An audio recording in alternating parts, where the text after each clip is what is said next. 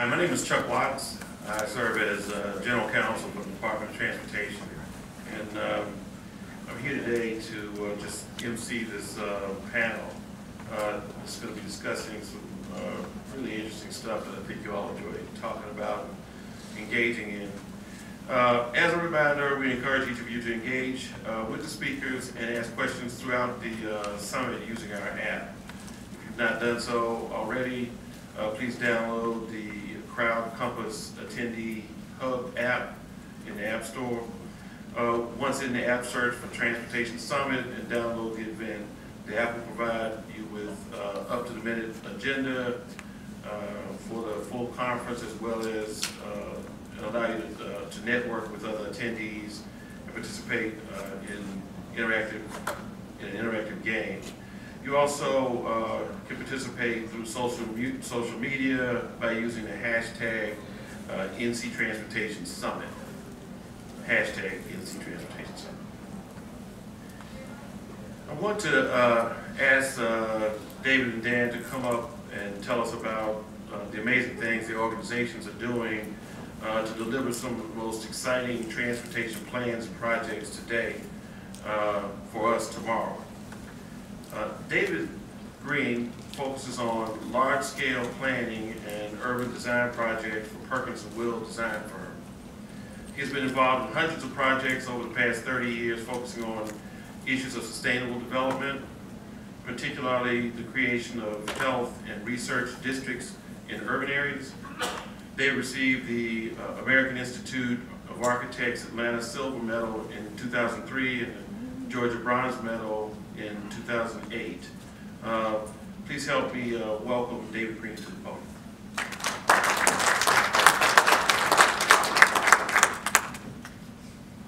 Thanks, and good afternoon. Actually, that's a weird introduction because this has nothing to do with that. Um, mostly what I'm doing now is planning stuff globally. Um, and in fact, one of the projects we're working on that I'll talk briefly about today, very briefly, because I have 10 minutes to go through this, um, is we're planning the entire country- of Kuwait among other projects, giant projects in China, the Middle East, um, North America, et cetera, et cetera. Um, and I only say this because transportation is such an integral part of what we're doing, but it's not just transportation. Um, and so I'm going to run through these slides fairly quickly, and I'm going to talk about two different things um, that have to do with the way we plan the world. And then uh, Dan's actually going to talk uh, more about the technology of, um, uh, uh, of future transportation alternatives. But they're both tied directly together.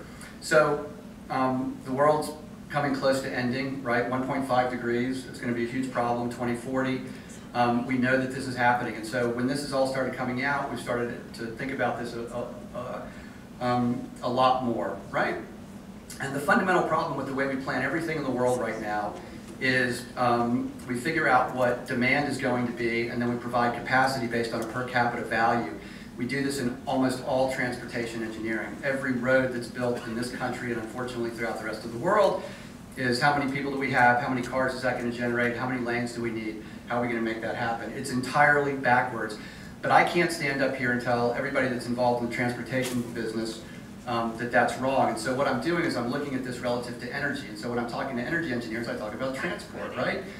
And so normally what we do is, is we understand how much stuff we need, we understand how we respond to the best way to sort of get that distributed, and then we figure out how much, um, uh, how we can use that at the sort of local level. So our engineers right now are planning for the next 25 years of energy demand.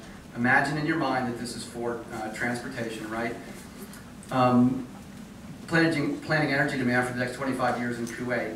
They're using a per capita basis that's been in place for the last 25 years. Kuwait uses more energy than anybody else in the world per capita with the exception of five other countries. It's pretty bad. The best we can do in this scenario is a diminution program that drops at 1% per year. That's insane, right? So you all don't design power plants, but you know that's insane.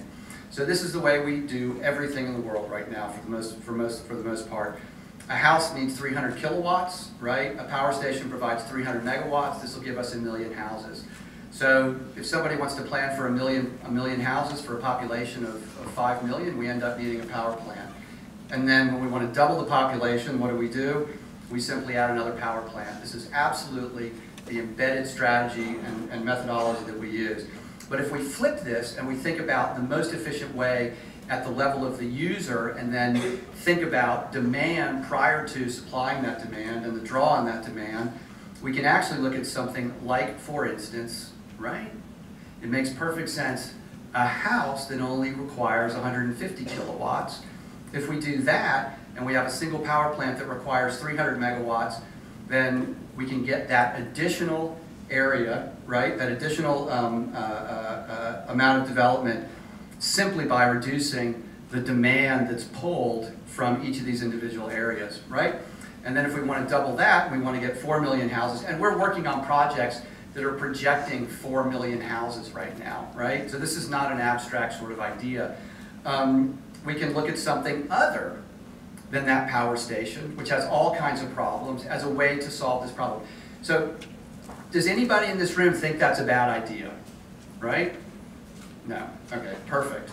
And then in the, in the more distant future, as we're planning 25, 30 years out, and we start to take these things offline, we can start to understand that we can supply all of this with an alternative energy source, which has a lot less environmental damage and a lot more environmental positive uh, outcomes. Nobody sitting in this room right now thinks that's a bad idea, right? But you understand that every highway that we're designing in this country, and by extension, unfortunately, every developing country in the world, does not do this. It does the exact opposite. And that's what gets us this in China. These things are being built right now, and they're being built using the engineering methodologies that we've given them, right? And in the United States. And they're continuing to be constructed. So if this is not a good methodology for the production of energy, why is it a good methodology for the production of roads, right? And unfortunately in this process, we've forgotten something, right? We've forgotten that there's a kind of framework that we can put in place to create the capacities that we need for things like transportation. And so we look at, I'm going to go through this very quickly, but we look at Pennsylvania, right? Huge amount of capacity. Uh, sorry, Philadelphia, huge amount of capacity, right? Super adaptable. Everything from corn to this was accommodated in the same framework, right? We never had to add any lane capacity. We never had to add any additional um, infrastructure, horizontal infrastructure, to carry this incredible increase in capacity. And so from this, we have this sort of mantra that how we divide up our land is more important than what we do with it. And from that, we have this idea that how we manage land use is more important than we, what we, uh, how we project it.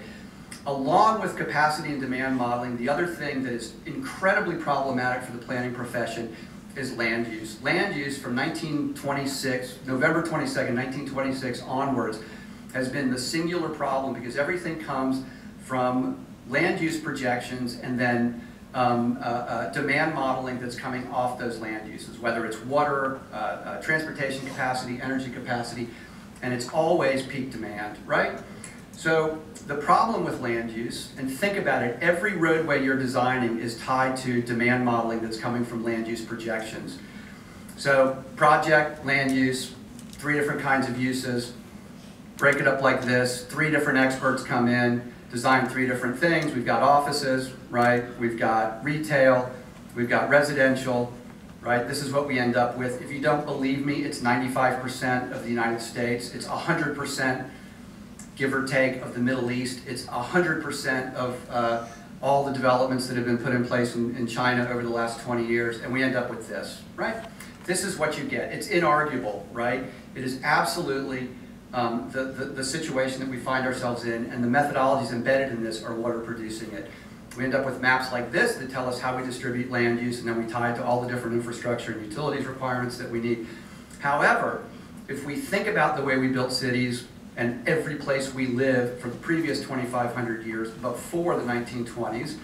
We simply draw not roads, but streets. We put that in place. We figure out the size of these things initially. We have the same exact uses that we would show in, in the previous uh, example. Um, and we set the same thing up. We have the same amount of parking, we have the same amount of green space, we have the same amount of everything. The fundamental difference here is that we can grow and change without having to change the underlying infrastructure and framework. It's entirely adaptable, right? And so in this, and we don't have to, to, to, to believe or disbelieve this because we could look at places like Philadelphia and New York and we could look at places like Gwinnett County in Atlanta or most other suburbs in the, in the country and know that one thing has changed greatly over the last hundred years and another thing hasn't. And the only reason that's is because it's so much more difficult to change land use that's projected in large single-use areas. And so, if you want to change that, you have to pull everything out of an entire area and start over. However, if you want to change the, the, the, the thing that's got a framework in place, the sort of, the sort of street system, um, you don't have to worry about it. it. It's already embedded with a kind of adaptable framework. So you end up with what's on top and what's on bottom. And, and, and, and people look at this and they say, yeah, well, it's just a lifestyle sort of choice, whatever, which maybe 25 years ago it was. But now there are real implications because the per capita use of utilities and infrastructure is significantly higher in the situation on the top than it is on the situation on the bottom. So, so the question you ask yourselves rhetorically is why is everything we do almost exclusively in this country and by extension, and I can't overestimate or over, over uh, uh, um, describe this, why is it that it's so easy to do what's on the top and so hard to do what's on the bottom? There are almost no examples of this happening throughout the world. So we've actually taken the entire country of Kuwait, we've put a national ordinance over it, which allows us to go in and create a highly connected system, which also allows us to utilize an analytical process to understand every bit of utility, every bit of transport that's going into the entire country. And it was actually based on the land ordinance that we had in, in the United States that Thomas Jefferson came up with, with in 1785, which is, Dan said to me a couple of minutes ago, makes LA the next great connected transit uh, hub of the world.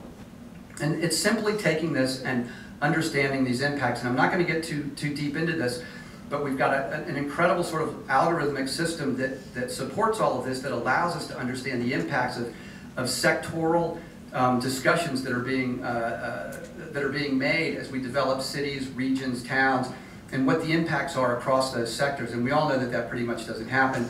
This includes um, uh, analyses of transit in different areas, and so it's a fundamental a fundamental shift in the way you think about developing within this system. And again, I can't really explain the way we're planning an entire country in 10 minutes, but suffice, suffice it to say, we're taking this idea and supplanting this idea right? This is an idiotic way to plan the future. So this simply says these are the uses that are going in. This is how much water we need, worst case scenario. This is how many lanes we need, worst case scenario. This is how much energy we need, worst case scenario. And it's almost impossible to change it because everything of one color is designed to be one thing and one thing only. So this is what the future plan of Kuwait looks like.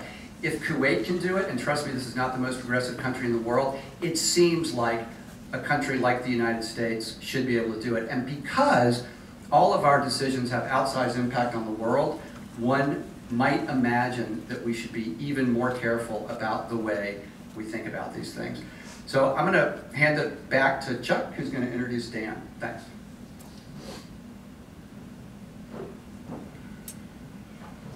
Yeah, uh.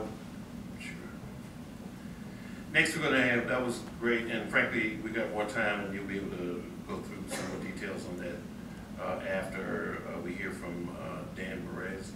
Um, Thank you, uh, David. Uh, As a transit planning and emerging uh, mobility associate at Nelson Nygaard, Dan Perez specializes in helping citizen, cities and transit agencies work together to optimize streets and transit networks for the future of mobility. Uh, He projects, his projects have reserved, reversed uh, ridership declines through bus network redesign, improved transit reliability with innovative strategies that like pop-up bus lanes and foster collaboration between public and private mobility providers. Uh, please help me welcome Dan to the stage. And, my introduction was written by somebody else, and if it's not accurate, do the best you can. I wrote mine and it was wrong. Oh, that's All right, um, so today we're here talking about designing for a future of unknowns, and in transportation, one of the most or most important unknowns are autonomous vehicles. Over the past, you know, decades, we've kind of had dreams of an autonomous future, and in the past couple of years, we've really started to see autonomous vehicles on the street, um, not in full autonomous mode, but with uh, uh, uh, driver-assisted autonomous vehicles as well as uh, vehicles with safety managers. Uh, but over the next few years, we expect that we'll have more, a higher level of autonomy, and then potentially in the near future or in the next couple of decades, we'll have full autonomous vehicles on the road. And because of that, we're starting to see people make really, really big predictions and tell a really big story about what the world with autonomous vehicles will be like. The story kind of goes like this. First, autonomous vehicles will end private car ownership. Um, the cost of using an autonomous vehicle versus owning your own um, owning your own car um, will make it so that it just doesn't make sense to own a private car. You'll you'll be uh, hailing a vehicle using that vehicle for a certain amount of time, and then someone else will use that vehicle. Um, you might even share your ride with someone else, and that trip might be uh, as cost as little as nothing. We're starting to see pilots where uh, companies like Walmart are uh, essentially paying for a ride because it allows them to capture a customer with a lower uh, customer acquisition cost than traditional marketing. And this is great, sorry, uh, this is great because right now cars aren't used 95% of the time, and if move to a shared autonomous world, uh, we'll be able to use our resources more efficiently.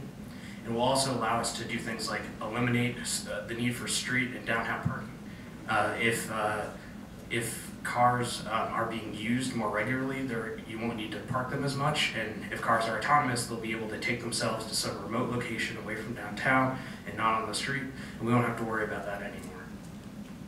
The story continues by saying that public transit will become obsolete. Um, uh, public transit ridership has gone down a lot in the past few years, and uh, a lot of people attribute that to the rise of Uber and Lyft um, and essentially providing that autonomous experience uh, for the customer. Yes, you're being driven by a human, but you don't need to park anymore. Uh, you don't need to worry about what's going to happen to the vehicle before and after. So um, people are projecting that future into a world of autonomous vehicles where uh, people, where where folks will just hail a ride. They might share with a few people, but they won't need public transit anymore. So that's not invest. Pivoting a little bit, the story continues that autonomous vehicles will transform logistics.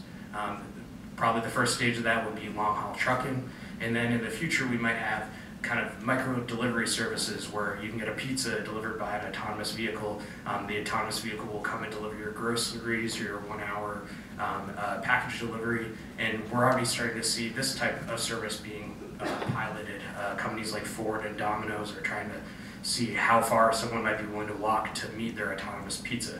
Um, and then finally, all of this will happen while dramatically reducing congestion. Autonomous vehicle tests have shown that just a few autonomous vehicles, or, or uh, uh, simulations have shown that just a few autonomous vehicles can uh, uh, increase traffic flow on highways. And, and a lot of folks have kind of projected that out to just that we don't need to really worry about congestion in our cities because autonomous vehicles will cure that problem. And I kind of hate to break it to you, but a lot of the a lot of this story requires a fundamental rethinking of the basics of geometry and the basics of uh, transportation engineering uh, or uh, uh, transportation economics. Just because vehicles are autonomous doesn't mean that people will just magically uh, overnight start using um, the roads and vehicles in a completely different way. Um, I think there are a few ways to illustrate this point, kind of why autonomy doesn't necessarily uh, have to follow this story that uh, a lot of folks have been uh, putting forward. So first is just basic induced demand. The way that we, uh, as David was kind of talking about earlier, the way that we kind of do transportation planning um, in the U.S. is we have congestion. People really, really hate that. Um, so we start and we say, okay, well let's widen the road. We need to expand capacity to meet demand. Um, we do that. We cause faster driving. Everyone's happy for a little bit. But then more people start driving and we start having congestion again, and this process just keeps going over and over and over again. Uh, there's no reason why this isn't going to be the same story once autonomous vehicles um, have some minimal or have some capacity benefits. So autonomous vehicles come in, we start being able to do platoons, we uh, start having uh, a little bit more space on our roads because we can dedicate our curb space in different ways people can drive a little bit faster. Also, the cost of driving is going way down, so people want to consume more of it. And then more people start driving, and then congestion happens, and then those benefits kind of go away over time, and we end up in the same situation where we are now with crap, clogged streets, lots of congestion. Another way to think about it is how um, road space is used among different kinds of vehicles. When you're in a uh, single occupancy car, you're taking up 10 times as much space as someone who's riding a bus or walking or using a bicycle. And so roads where, where uh, single occupancy cars are the predominant way people are traveling are just inherently less efficient than a, a, a road that has a mix of people on transit and on uh, uh, using active modes like walking and biking. And that story is going to be the same um, with ride hailing with autonomous vehicles. A ride hailing vehicle where you are a single passenger with a driver, or a ride or an autonomous vehicle where you're being driven around by a robot, are going to be exactly the same. Um, take up exactly the same amount of space, and we may be able to uh, use pricing to encourage people uh, to share autonomous vehicles and Uber and Lyft have already experimented with pooling services that encourage people to uh, uh, share trips. Um, but with autonomous vehicles, you're still taking up the same amount of space, and we're adding a bunch of new entrants into the market. Your autonomous pizza takes up space, your autonomous Amazon box takes up space, your car that's empty, that's driving to your parking lot, it also takes up space. And so the idea that we're going to be able to have all of those things while keeping the status quo just by introducing autonomy, it just doesn't make sense. So I think one lesson to take away from today is that we need to focus on creating places that allow people to move around and that and change the focus from moving people or moving vehicles to moving people and creating um, both the physical and regulatory environment um, that supports just moving as many people as possible um, and supporting community values. And ride-hailing companies already understand this. There's a great quote from the CEO of Uber um, where he basically said, during rush hour, it's very inefficient for to move a one-ton hulk of metal to take one person 10 blocks. They understand that their business model doesn't make sense um, in dense urban environments. It doesn't make sense for every single person to be in their own car, even if you're able to eke out a little bit more capacity benefits with autonomous vehicles. So Uber and Lyft are now investing in micro-mobility services like bike sharing and scooter sharing. And Lyft even makes it so that you can um, view transit options in their app. And it will tell you if transit um, in some markets is a better option than using a service that they receive money for. Um, and they understand that in order for their services to make sense, they have to support moving as many people as possible, regardless of what mode they choose to use. I think one other thing that's really important when talking about autonomous vehicles is that it's not a certainty. We don't know exactly when fully autonomous vehicles will come to market and how widespread that adoption will be. And thus, when we're designing for that unknown future, we have to focus on what matters both today and what will continue to matter when autonomous vehicles um, uh, enter the market. I think, uh, so I'm going to go through and talk about some of those things that you can start doing, doing today um, to prepare for autonomous vehicles while also uh, benefiting the cities and communities that you live in work in. So the first, I think, uh, and most important, is that you develop a lens to make transportation decisions through. Instead of reacting to kind of the latest congestion and parking problem, it's important to develop mobility policies that reflect your community values. Um, some of those will be very mobility focused, but they often connect mobility to a broader value. So the city of Pittsburgh is doing a really great job um, they laid out some extremely clear goals around mobility. Um, one of which I think is a great example is that everyone should be within a 10 minute walk of um, a, a, place that they can buy fresh, uh, fresh fruits and vegetables. Um, so they should be able to access that without a car. Um, and they can make, now they can uh, develop transportation uh, projects that fill in those gaps and they're not just improving the road um, or making transit better, but they're actually making transit better towards a broader community purpose. Now, with that lens, you can start thinking about the broader uh, issues that will affect that affect your community today and will be important with autonomous vehicles. The most important is managing the street and managing curb space. Autonomous vehicles uh, will likely have a, a, larger element of sharing, and people will not be parking uh, directly in front of the places that they're uh, visiting, and thus curb space and street space becomes extremely important to manage. Uh, Seleta Reynolds, the head of LADOT, had a really interesting comment a few days ago where she said, imagine um, your local airport when you're thinking about what autonomous the future with autonomous vehicles could look like, a, a curb space with an extremely high demand that isn't managed at all just doesn't work. You end up with tons of traffic, tons of people pulling in and out, waiting, um, and just total mismanagement. So we can use regulations and dividing up street space um, as one way to manage the street, manage the curb. But it's also really important to start thinking about pricing, um, and especially pricing wasted space. Um, so with autonomous vehicles, there's the ability for the cars to essentially drive around endlessly forever without people in. Um, you could see people using that to avoid paying for parking. You could see even a world where people live in autonomous vehicles because it's cheaper than the than uh, uh, owning an apartment. Um, so it's really important to start thinking about pricing wasted space to achieve the mobility goals of your community and to stop things like, you know, kind of endless mobile advertisements and, and other things that, that uh, replace space that should be used for moving people just to move vehicles. Another kind of short-term uh, thing that uh, cities can focus on is uh, reforming your parking design and regulations. Parking demand is already going down in cities as um, uh, services like Uber and Lyft become more popular. Uh, the economics of developing parking are changing, and most cities still force developers to build unnecessary and, often going unused parking facilities that increase the cost of commercial rents and increase uh, residential housing costs. And it just doesn't make sense as we move towards a more autonomous future to continue um, that current uh, paradigm. In cities, it's extremely important to start thinking about how to use your street to move more people through transit.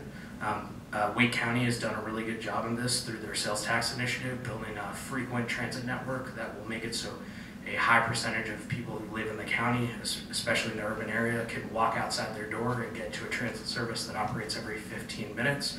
It gives a great base for building a mobility network that moves more people. And if you can do things like dedicating road space to make a congestion-free alternative, as we go through the transition towards autonomy, um, uh, you'll have people be able to choose an alternative where they don't have to worry about congestion. As we start using pricing to, you know, uh, make the general lanes function more, there'll always be a frequent and congestion-free alternative with transit.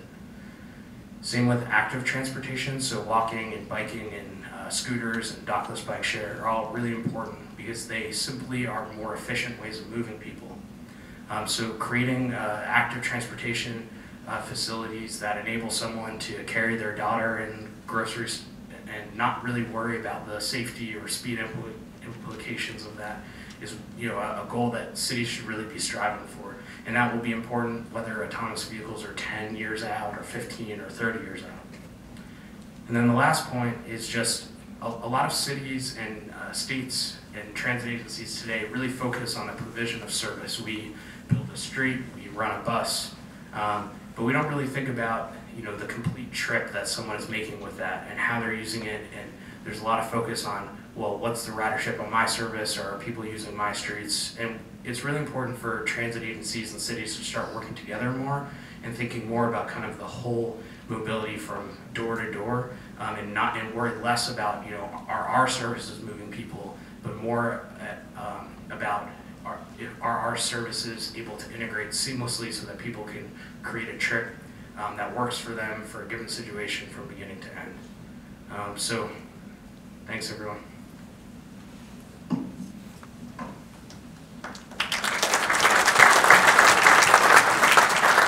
Open it forward to uh, questions. Um, I Certainly, uh, it was a stimulating conversation, and presentation by both of them. I I feel like uh, David was kind of constrained and, and- and put together. I thought I had twenty minutes, and I found out fifteen minutes ago I only had ten minutes, so I'm sorry about that. Do you want to do a redo for five no, minutes? no. No. Well, um, the, the presentations were definitely interesting, and I'm oh, happy to, uh, let anyone ask a question. Brilliant. Thanks, David. I'm interested in the algorithm you mentioned, and you intimated that it was a, it was an input into the design process. What extent were the outcomes used to help decision and benefits of what you're doing? So- What are things that are important? Yeah, so this is an interesting thing, and so, um, I'll give you a a really interesting example. Um, and I use energy a lot because nobody's designing energy systems, but everybody understands kind of the idea that you're, you're putting resources in, and those resources get distributed. And so, for through a kind of planning process, we, we were able to, um, sorry, I'll just go stand up here. I'll just, like, I'll just sit right in the middle of you guys. So, from a planning process, think about this, we were, we're, I gotta tell you, man, it's like working with all, you know, so we were working with teams that have like twenty different engineers, engineering sectors, and trying to balance all this stuff is almost impossible. So we were looking at things like um, peak demand. So right now, most countries are, are generating energy that's based on um, kind of peak demand, peak demand plus um, uh, uh, additional margin of safety. So, you know, apart from an hour a day, you're generating 60, 70% more energy than you need. And the reason that that's a problem is because you end up with multiple peaks across a 24-hour period because you get office areas that are generating peak demand, and those are being served by substations. You didn't realize you're going to be talking about substations in a transportation discussion, but you're putting substations in place that are only supplying power for that, uh, uh, for that office park, for instance. And then you've got another one that's, that's supplying power and peak demand in the wintertime might be 10 o'clock at night for a, for a residential subdivision. And so you're setting the worst case scenario across the board. So what we've been able to do is go back in and evaluate, and this is the grid system that we set up, which goes all the way down to 150 meter cell. And we can disaggregate all the information that we're getting, the, the, the usage quanta, um, and reaggregate that, in this case, based on the, the co-locating of um, substations so that we're balancing the amount of power needed for what's planned for residential and what's planned for um, office and whatever else the uses are at the initial planning level so that we can actually see significant reductions. But the power company, in this case it's the Ministry of Electricity and Water, has no way of knowing this because they're not working with the Public Authority for Housing Welfare, it's a long story. Um, and so it, it's so much easier for the engineers just to say, okay, I've got a thing, this is how much it's gonna take, I'm gonna go put, uh, I'm gonna supply this uh, based on these criteria.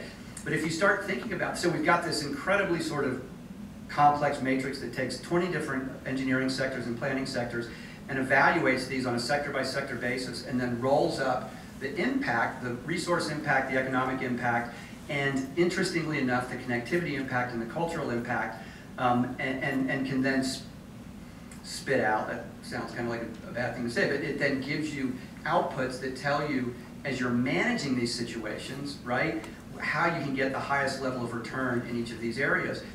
Um, we're it's interesting, we're working with Siemens on a lot of the technology that we're putting in place for this. Um, and we're doing it in crazy places like Istanbul, right? Which seems overly complex to be able to deal with a situation like this, but that's, that's what we can do, right? And that's what I think we should be doing. And all it does is it daylights the disconnects between the planning process and the outcomes that we're getting. Does that make sense?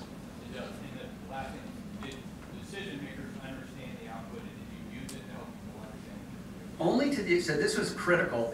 We came up with these evalu, we have these evaluation sheets that break everything down. So we had to look at scenarios. So in the case of Kuwait, we looked at a scenario for four different uh, options. Nobody cares about all the internal, like they don't, nobody that, that's in parliament cares about all the outcomes. All they cared about was the grade that we gave each, each of the different scenarios. And so we were very clearly able to say that scenario four was the preferred option because it fulfilled all of these goals that we had in place and reduced resource utilization, et cetera, et cetera, and got a grade of 96, as opposed to a more distributed system, which was what was being done previously, that got a grade of 77. And unless you break it down to that level of simplicity, you can't get the politicians that aren't trained in these areas to understand that. Otherwise, it's just a, a series of rabbit holes. Yes, Yvette? Uh, Yes, I want to apologize up front, um, about my question because I knew this transportation conversation. Um, But when we're looking at autonomous planning, how out of the box are we getting with this? Um, For example, I live in Izmir, Turkey. Whenever I was traveling there, out and about in the city, there was every mode conceivable of transportation. And so I'm beginning to think about the micro mobility uh, aspect of this. So it has there been any planning around people wanting to use buses for their transportation or going back to using horse and buggy? I know that sounds really weird, but some of us live in kind of historical communities and some people sometimes say, okay, I want something that doesn't have a person driving me around. So what kind of planning is going into that? Because I can kind of see this getting very chaotic possibly.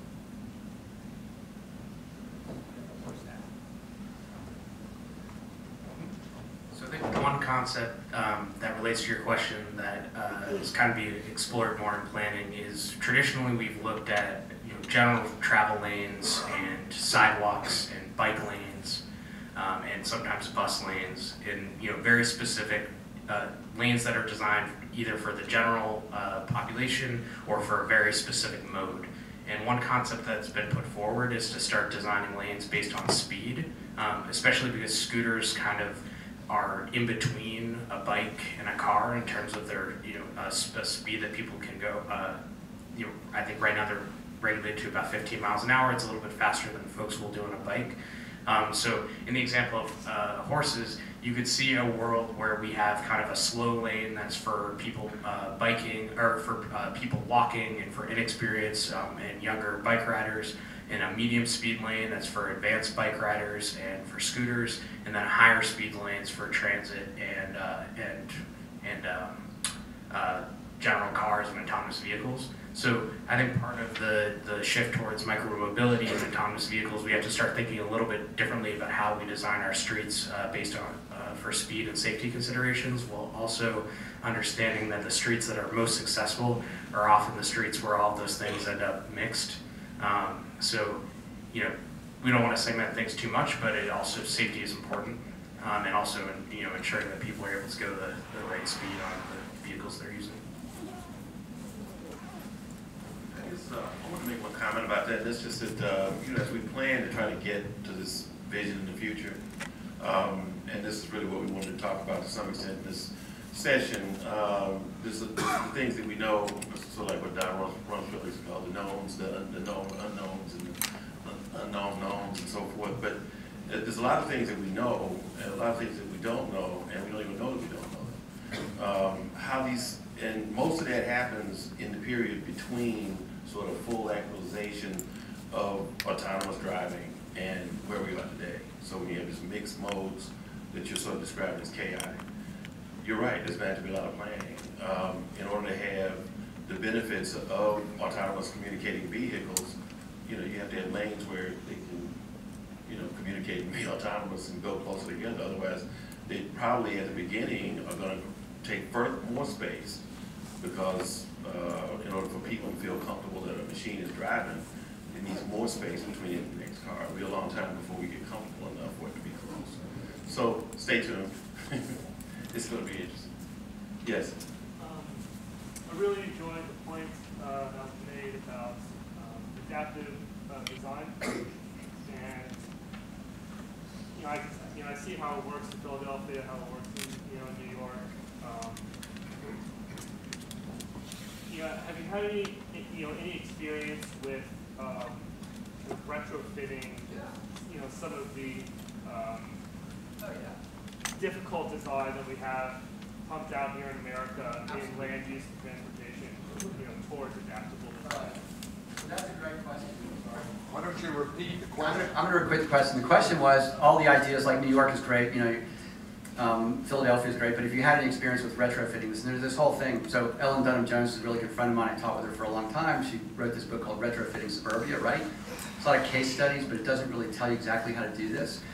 And, it, and it's a challenge, and so we've done this in a number of different places, but the problem is the legal system is set up in such a way that it makes it almost impossible. So where you've got a cul-de-sac, for instance, and you all hear this again and again, in most places it's illegal to extend that cul-de-sac. So, so in order to get the connectivity you need, you're, you're not up against a kind of design situation, you're up against a legal situation. And there's this kind of fallacy of safety in that situation because the data is actually being used in a way that's inaccurate to demonstrate a, a condition that people want to, want to keep the same, right? It has all, a lot to do with the individual collective relationship. Anyway, so what we've been able to do is run these analytics on connectivity. And so when I was talking about those sorts of issues, we can dispassionately understand the level of connectivity in an entire system. And so instead of thinking about it as a grid, you think about it as a sort of web. So the fact that streets are curved and end is absolutely not a reason that you can't go in and retrofit these things.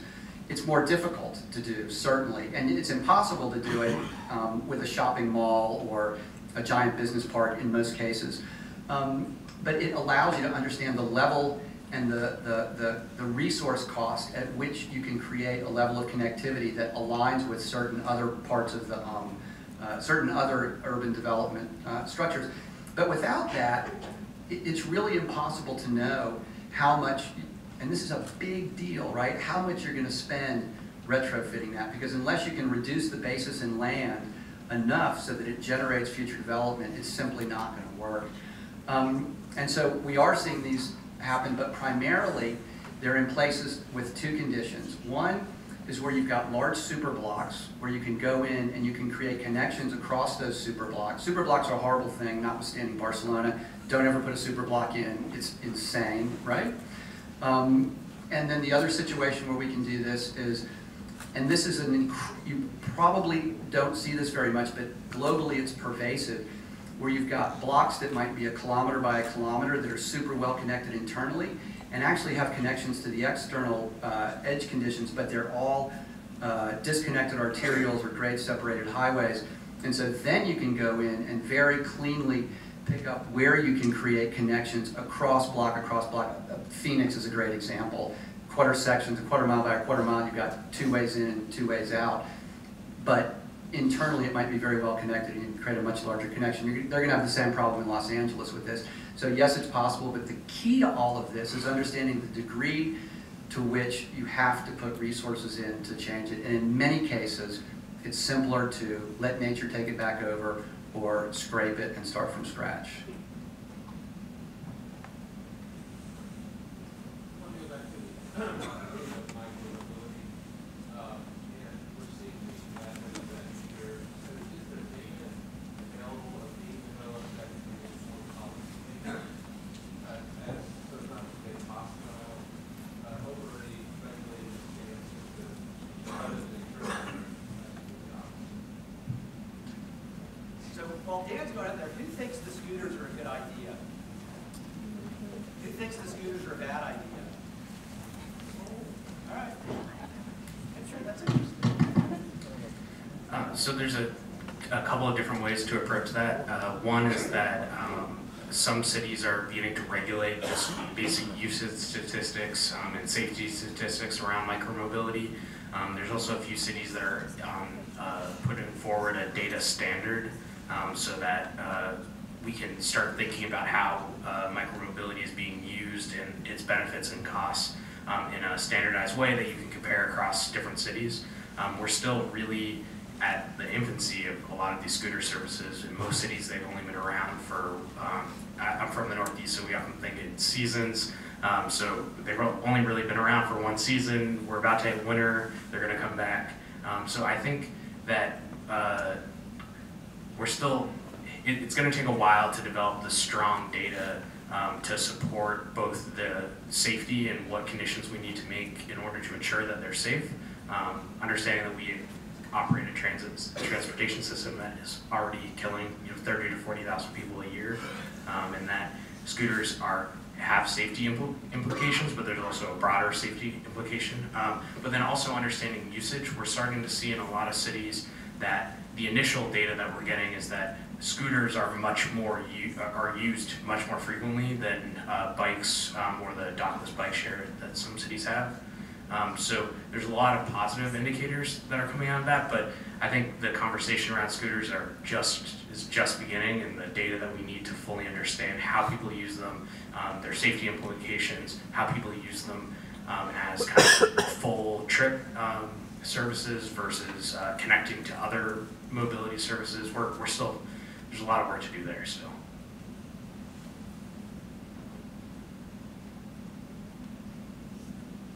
Okay, Uh, I think you touched, the prior question touched on policy, and, and I- I'm curious if there are current policy recommendations or models, uh, that might highlight both speakers, um, as regards how we prepare for autonomy in a, in a safe, facilitating way, and also, uh, how we can make land use changes, land use planning changes, in a s- it seems like an environment that's very stuck. Yeah. So let me just, And, and specifically, Greenfield. You got any ideas for Greenfield plans? So we now, so there's a really, the, the question was policy changes both for land use and for autonomous vehicles. So one thing I'm going to throw out there before I answer the question is, I would love for one person in this audience to give me one reason why scooters are a bad idea. I firmly believe that they're absolutely great, and there's no reason we shouldn't have lots more of them. And so I would challenge somebody in the audience after Dan's finished to tell us, tell me one thing, and I'll tell you why you're wrong. Okay? So um, the thing about so what we've done, there's a really interesting thing that got put in place in, 19, in 1920s when zoning was put in place. It was called the City Planning Enabling Act. And the federal government, the Hoover Commission in 1928, actually told jurisdictions at a national level, enabled them to, to put planning in place as a, as a legal entity, that the first thing they had to do was project public rights of way. And then the second thing that you would do, and I'm, I'm, I'm uh, uh, uh, uh, shortening this a bit, was then you figured out what the uses were that went within these, these sort of, you know, residual spaces, which we understand as blocks, right, developable areas. And so what we've started doing now is putting policies in place that reflect what was originally essentially the codification of the way we built cities for millennia. And we're actually removing land use from the regulatory process. Now, I will say this has been much easier to do in other countries than it has in the United States because, as you say, it is incredibly embedded in the process because there's an embedded methodology where everything comes from land use, right? The amount of traffic, the amount of energy, the amount of water, et cetera, et cetera, et cetera. And so what we're trying to do in this process is change policy so that it's based on, and I hate to use this word, but it's based on performance instead of uh, projection. And this is why how this is why the, the idea that land use should be used as a management tool and not a projection tool is critical. And we're starting to see changes in these areas globally. Although, to be honest, maybe 1% of the development in the world is based on this scenario. And remember that prior to 1930, 100% of development was based on this scenario. So every city that you go to that you love didn't have anything to do with land use, right? Sorry.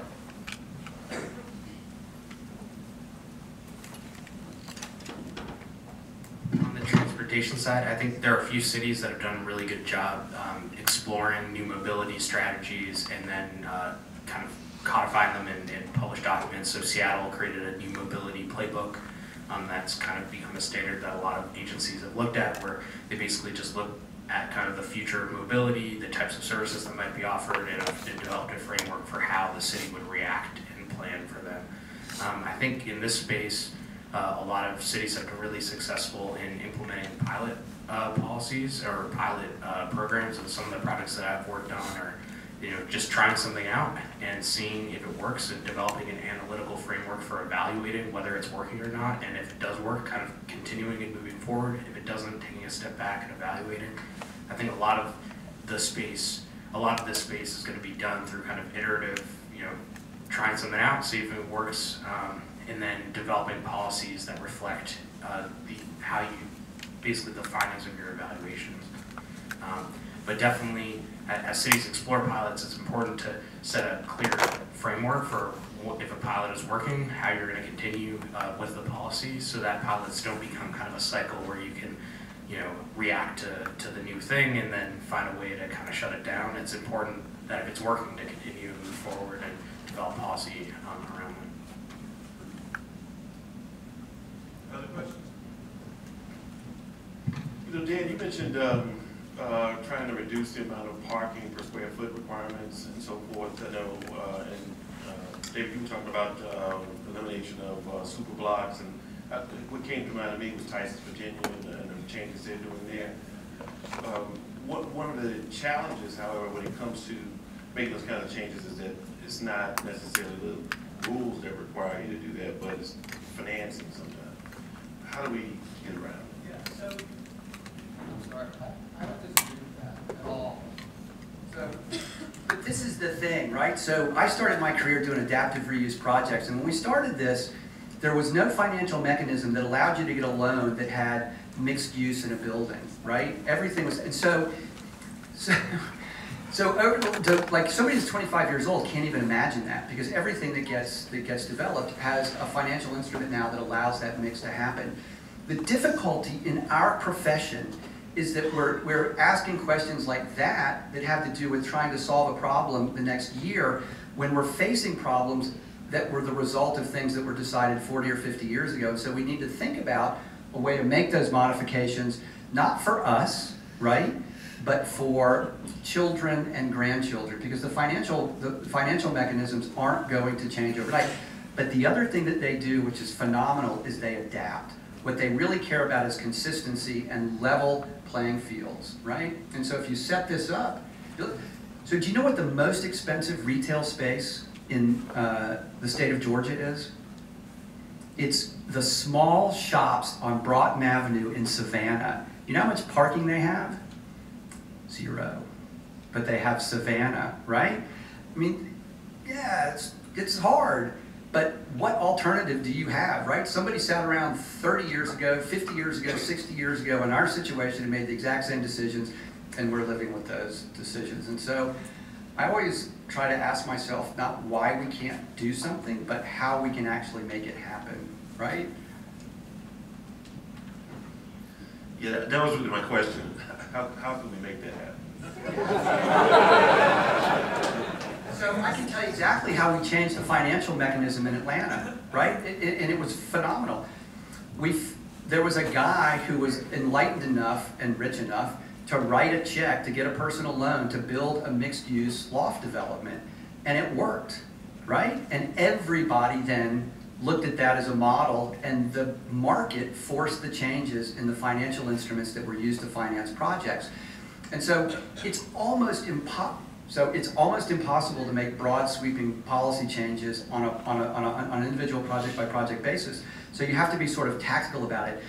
So I know this sounds crazy, but the reason we're spending all this time in this little country in the Middle East called Kuwait is because if we can get one full country to adopt this system, which we're in the process of doing, it then becomes um, evidence that it's possible, right? And this is a country that has the highest per capita use, uh, uh, uh, uh, solid waste use in the world, right? I mean, what other choice do you have? Nobody's, we can't be Thomas Jefferson again, right? So it has to be done on an incremental, an incremental basis. And so Tyson's Corner was, done as a project that demonstrated it. People see that it works. You know, the, the closing of, the, one of the great experiments of the last 20 years was the closing of Broadway, right? It was done with paint and bollards that could be removed if it didn't work. And it turned out that in, in fact, it didn't cause additional congestion, it reduced congestion, right? But if that little target project hadn't been done, nobody would have ever realized that because everybody thinks that putting, putting less access for cars is going to cause congestion. And this stuff is counterintuitive sometimes, and you have to try to put it in place. So you have to find some rich people that are enlightened, you have to find some governments that are enlightened, and you have to test this stuff. It's what we've done for our entire history. Did anybody ever come up with a reason that the scooters are bad? Yeah. Yeah, so what do you say? So let me just say this. This is a great example, alcohol, right? So would you rather have somebody tooling down Main Street on a scooter after about nine gin and tonics or sitting in their Mustang, right? You, you, you, if that's the logic, then we should get rid of every car on the road, right? Yes, sir. Do they ride in the road and compete with cars, or do they ride on the sidewalk? Who cares? So if they, so then, so. I do if I'm walking. So, so then, so, but that's, oh, sorry, the question was, should they ride on the road or ride on the sidewalk? So, so then you go back to speed. So I live in London, right? And the bikers all hate me because I walk, and the taxi drivers, the drivers all hate the bikers and me, and then the taxi drivers hate everybody, right? And so there's this hierarchy. And right now, every decision we make, it, every decision we make, I don't care what anybody tells you, is based on fluid movement of automobiles. And so everything that we come up with that says we don't like scooters is because it can either be justified um, as an analogy for automobiles, and we should look at the automobile the same way, or we should suppress the presence of the automobile for the benefit of the scooter. So every time we've got two lanes for cars, we should lose one of those lanes and make it a scooter lane, right? Why not? They use less energy. They're uh, they kill fewer people. So that's never going to happen, right? But but what it makes you realize is that the rationality of the discussions we're in completely ceases to exist when we talk about automobiles and capacity for automotive transportation, right? In no other planning area is it less rational than it is with automobiles, right? So is there any? Sorry, yeah. How about helmets allowed So, a- absolutely. So, more people die in cars, so you should put helmets on people in cars, right? So, let me, so, I'm sorry? So, Probably not, right? But you're going much slower, right? The, the, the idea is that, that scooters are less dangerous overall, right? I mean, we unfortunately live in a country where you can ride motorcycles in a lot of states without a helmet, which is completely idiotic. So, yeah, maybe, so this is an interesting fact about the helmets, right? Maybe you should make people wear helmets, but as a public health issue, it's actually better to not require helmets for bike riders in urban areas than it is to require helmets. And the reason for that is because the individual incidence of head trauma is so much outweighed by the benefits to all other chronic health issues for people that ride bikes that on average, across the board statistically, bikes are better for us in terms of health if we don't have helmets. The reason is more people ride bikes if you don't make them wear a helmet. These things are counterintuitive, but we look at all these decisions from a personal, individual level, right? So again, is there any reason? But, but people are furious across the country about these crazy scooters right now. And it's primarily because they don't look nice when they clog the sidewalks, right? Yeah, big deal. You know, go spend some time in the Marais in Paris if you want to talk about clogged sidewalks, but it works pretty well and there are lots of people and it's really, really expensive. Or because they're getting in the way of cars. The cars aren't getting in the way of the scooters. The scooters are getting in the way of cars. And until we change that perspective, I mean, we're so far, so far from, I think the woman back there was talking about Izmir, Turkey, if I heard her correctly. We're so far from the model of the most progressive multimodal places in the world that we can't, we can't just make these tiny incremental changes. And that's why I actually started with the slide that showed the shift from 2.3 to 1.5 degrees, right? Because I think if we don't make some of these decisions, and I'll be dead, right? I don't care. And I don't have any kids. Got some cats and my wife, but she's as old as I am, right? We're going to have problems, right? And it's either going to be solutions of our making, or we're just going to have to start over. And I'm not really sure how you do that. And by the way, I know Ron drives with a helmet in the car. Yeah, probably. Listen, I want to say thanks to David and Dan for being here, and thank for you all for coming and engaging.